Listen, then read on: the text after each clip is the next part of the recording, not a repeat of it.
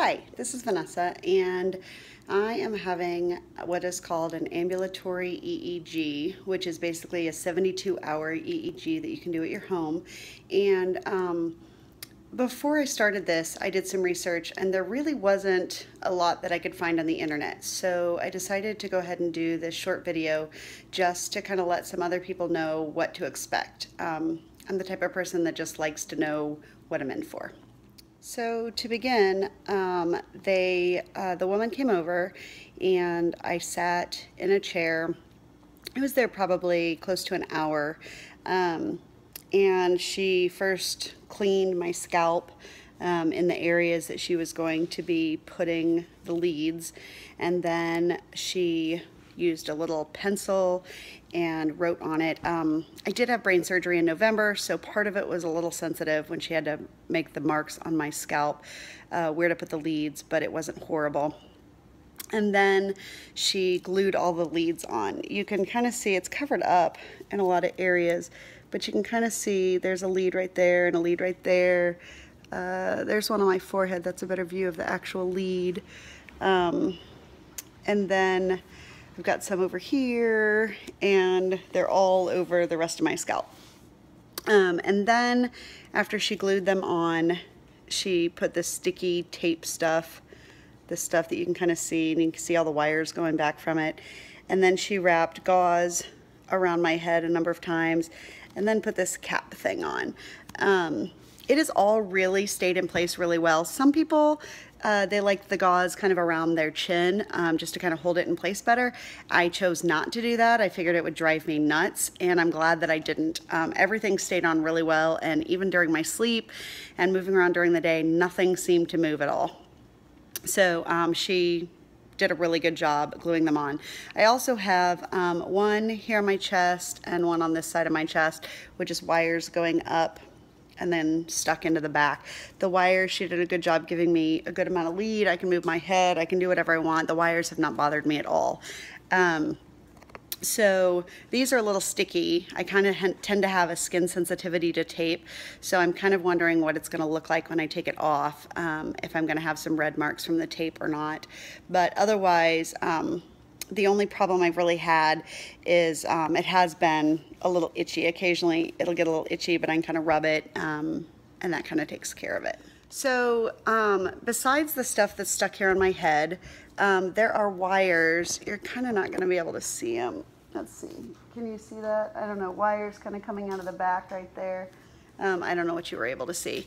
Um, and then they go down. She put this big the thing that's over my head around all the wires um, and it goes down to a bag. And I can hang the bag over my shoulder um, whatever I need to do. Um, and then I've just kind of kept this with me. It just kind of hangs around my back. Um, it's been a little annoying just kind of having this but honestly it's lighter than my purse so it really hasn't been horrible. This is uh, the wires that are going down into the bag. So if I unzip the bag I can pull this out. I do have to change the batteries in here um, twice a day just to kind of keep it going. Um, she said the batteries would last 24 hours, but they have you change them twice a day just to make sure that it doesn't die. The last thing you want is to have this thing on your head for three days and then have the batteries die. Um, so I've changed them twice a day and you just pull this sock thing off of the machine and then you can see these are all the wires that are connected to my head. So all of these things go into the sock and up to my, to my scalp. And then there's just this little battery pack here. You just pop it off and change the batteries. They did give me a huge container of AA batteries um, just to change it and it's good to go.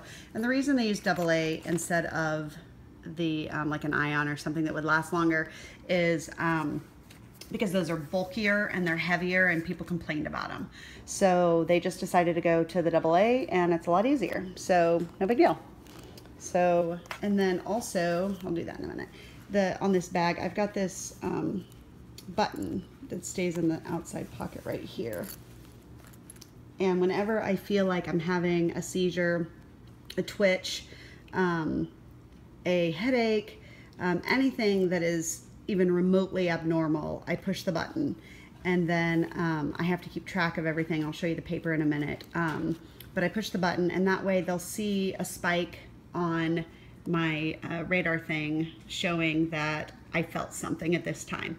And then they'll go back a few minutes and look at the brain waves and see if there's anything that was going on or, or what was causing that feeling that I had. So here's the paper, actually I shouldn't give you that, that I keep track of. And it just kind of says briefly um, what kind of things I'm having, what I'm feeling, um, what's going on.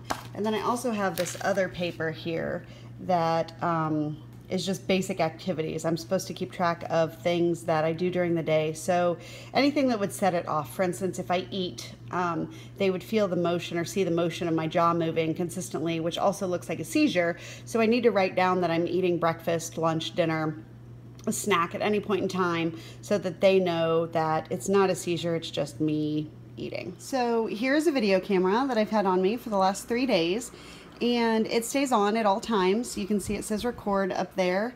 Um, and basically they just want to be able to see what I'm doing for the most part. It stays in the general room that I'm in. I really don't have to carry it around with me. Um, so for instance, if I choose to stay in the living room during the day, uh, for the most part during this test, um, I would just go put it, set it up somewhere in the living room where they can see me. And then at night, um, I set it up in my bedroom, which is where it's at right now. And um, that way it can see my bed, it can see me sleeping. Um, there are some people that um, have seizures overnight and um, they like to watch that just to kind of see what I'm doing. They can see my brain waves and my movement at the same time.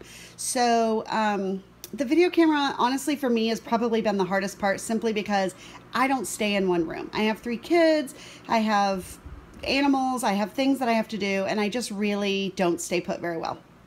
So it's been really hard for me to stay in the room with the video camera, and I hope that um, they're able to just see what they can see and um, and that it that it does help.